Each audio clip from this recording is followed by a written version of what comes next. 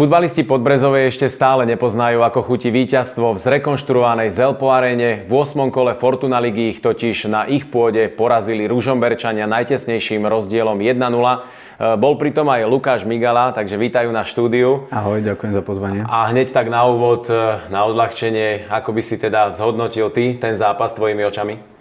Tak, do zápasu sme chceli vstúpiť aktívne so snahou o rýchly gol, čo sa nám nepodarilo, paradoxne sme inkasovali čo nás trošku na dlhšie chvíle tak vyradilo z hry.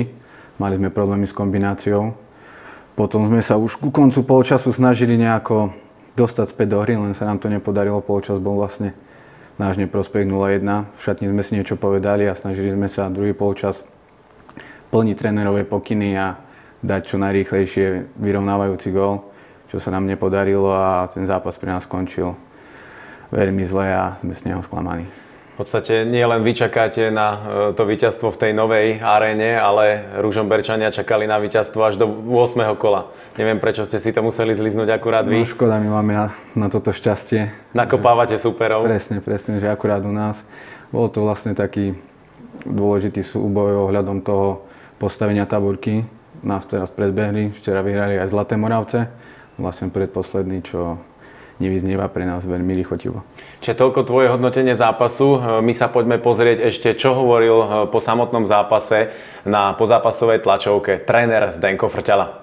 Tak z môjho pohľadu my nezvládame kľúčové momenty zápasu, či už sú to v obranej fáze alebo v útočnej fáze a preto sme dneska neboli úspešní, že sme nedokázali premeniť šance, ktoré sme si vypracovali a superovi sme znovu darovali gól na zlatom podnose, takže fotbal sa hral na góly, my sme dneska nedali žiadny super jeden a preto vyhral. Tak určite nesúhlasím s tým, že sme boli väčšiu časť zápasu nemastne neslaní. To možno ste bol na inom fotbale, ale je to váš názor, ktorý vám nevyvraciam. A tie kľúčové momenty sú o určitých individuálnych kvalitách a hlavne o psychike. Je vidieť, že keď prehrávame, tak eh, tie situácie tí chlapci riešia inak, ako keby ste vyhrali 2-3-0, takže je to jednoznačne o tej pohode, ktorá vyústiuje z toho, jak sa ten zápas vyvíja, takže je to veľa faktorov, ktoré to ovlivňujú. Takže toľko tréner na pozápasovej tlačovke e, práve hovoril o tých momentoch, o tých kľúčových momentoch, ktoré nezvládate a to už či už v obrane alebo v útoku a tá psychika, tá pohoda, mne to ako keby pripomínalo e, tej záver, záver minuloročnej sezóny. Ako to vnímaš ty? Tak niečo na tom bude. No. Zápasy sa rozhodujú v 16 a ako tréner povedal, my tie kľúčové momenty nezvládame, či už v našej 16 alebo v súperovej vlastne súperi nás trestajú skoro z každej našej individuálnej chyby a potom strácame body a vyznie to tak, že miesto, ja neviem, možno 12 bodov máme teraz 5 a nachádzame sa v tej taburke niekde úplne inde, kde sme chceli byť. Vnímaš to asi aj ty, že tá kvalita je možno na tréningu, dovolíte si v podstate všetko, na čo siahnete a zrejme v zápase asi je na vás nejaká tá deka, alebo stále predposledné miesto, asi to máte v hlavách? Určite je to iné, tak na tréningoch, kebyže vidíte, tam padajú góly z väčších vzdialeností, tam úplne vidno na nás takú ľahkosť a keď sa to otočí v tom zápase, tak tam zohrá určitú úlohu, neurčitú, ale veľmi vysokú tá psychika a vlastne nás aj láme to, že skoro v každom zápase prehrávame. A, a sme nútení potom vlastne otáčať a super je už na kone, je to náročné. Hovorili sme práve o tých kľúčových momentoch a ten e, najkľúčovejší a ten rozhodujúci bol už v 13. minúte. E, môžeme si to pozrieť. Bol si tam v podstate v úvode aj ty pri tej situácii? No, ja som tam zle vystúpil a vlastne som nemal ani hľadať v tom priestore, čo? Ja som otvoril vlastne celú svoju ľavú stranu Ďubek dostal loptu a skúsne to vlastne dal pred brankára nášho obrancu, útočníkovi priamo do behu. To sú veľmi náročné situácie, či už pre toho obrancu, čo beží priamo k bráne, lebo tam hrozí, že si dá vlastne aj gól, alebo pre toho brankára aj vystúpiť. No, Ďubek to spravil dobre. Je pravda, že tam trošku, myslím, že to bol Jiří Pimpara, nestíhal, ale možno, že až takto hráča nebránil práve preto, že ho cítil vo vsajde. Keď sa tak na to pozrieme detailnejšie, tak ja tam vidím nejakých tých minimálne 30 centy.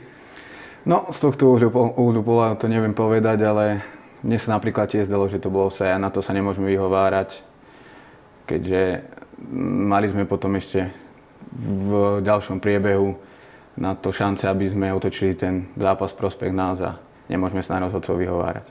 Ružomberčania, ale tu vidíme, prišli práve o strelca svojho gólu a takisto aj vy ste prišli o Blažeja Vaščáka a novú posilu Tomáša Mikiniča. Ja mám ešte pripravený rozhovor práve s Tomášom Mikiničom e, priamo po zápase e, o jeho zranení. Tak myslím, že to bol celkovo smolný moment. Myslím, že som si to trošku predkopol a neviem, už toto bolo, tuším, maslo. Spravil šmíkačku ja do ňoho a trafil ma presne na koleno do, do mekého, neviem, či mám väz alebo v tejto chvíli neviem povedať, boli ma to na dotyk aj keď by som mal kopať do lopty asi, tak ma to boli, ale neviem, budem musieť ísť asi na vyšetrenie. V prvom zápase v 20. minúte alebo kedy to je troška smola. Ne to bolo ostré hneď zo začiatku, ja som dostal tiež, ale v 10. minúte žltú kartu, z okolností na to istého hráča, možno mi to chcel vrátiť, neviem čo mal v hlave.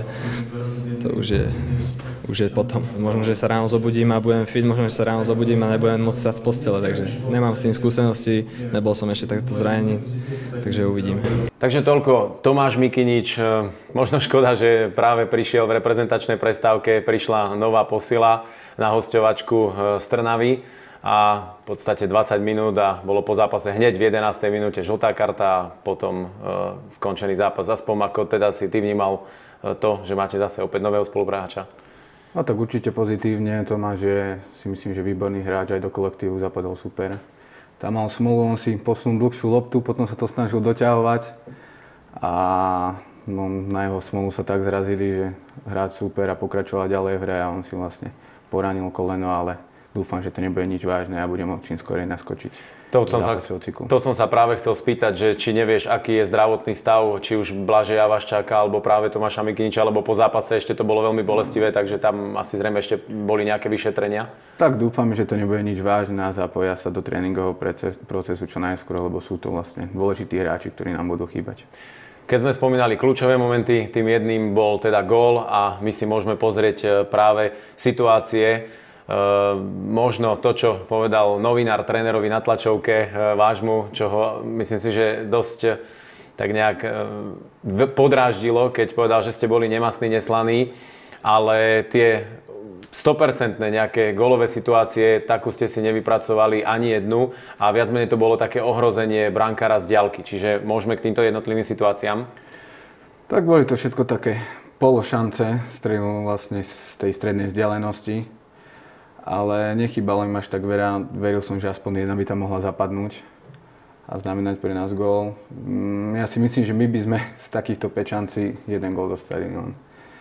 Máme na to teraz smolu, budeme musieť na tom popracovať, aby už to začalo aj nám padať.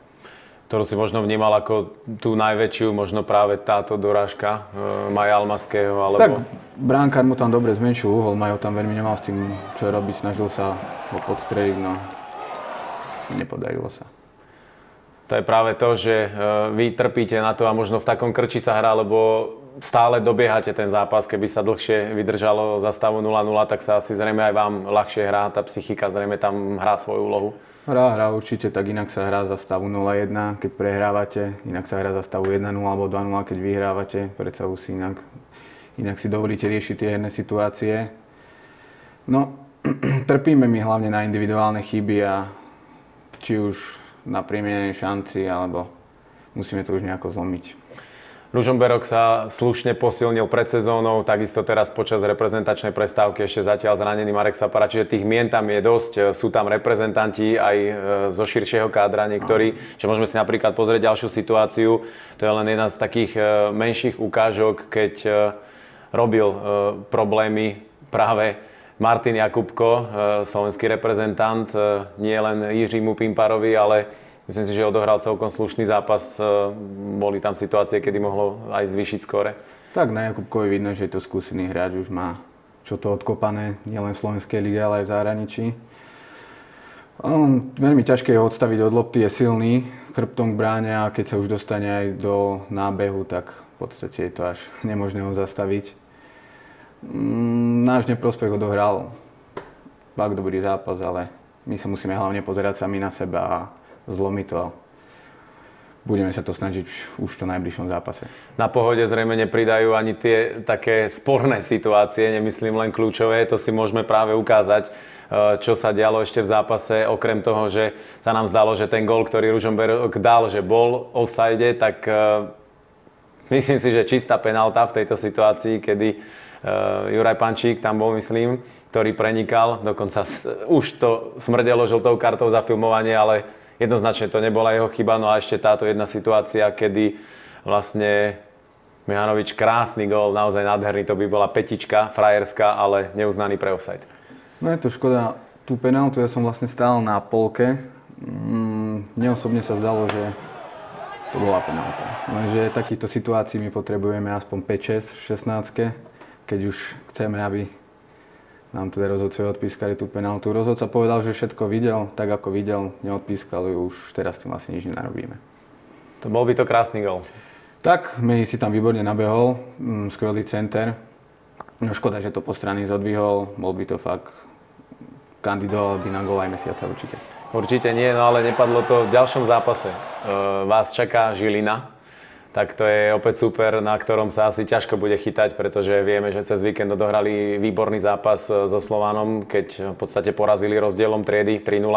Tam už nebudete mať takých robustných útočníkov, ako je Trebars Jakubko, ale sú to veľmi mladí a šikovní takí dravci. No. Takže ako ty vnímaš e, tým Žiliny, ktorý tak vás čaká? Tak nielen cez víkend, oni už vlastne od minulej sezóny potvrdzujú, vlastne tie výsledky, ktoré dosahujú v Európskej lige. Vyradili silné mužstva s Bilbaom, hrali vyrovnanú partiu a myslím si, že nás nečaká nič ľahké. Oni hrajú rýchly kombinačný futbal, vlastne štepujú to tam od vlastne akadémie. No budeme sa musieť snažiť vyrovnať im, my hlavne bojovnosťou, agresivitou a my musíme využiť naše silné zbranie. Ty, rodak z Hnušte, e, vyrastal si nielen v Hnušti, e, Rimavská sobota, tam si si prešiel a teraz e, v Podbrezovej, či už si sa udomácnil.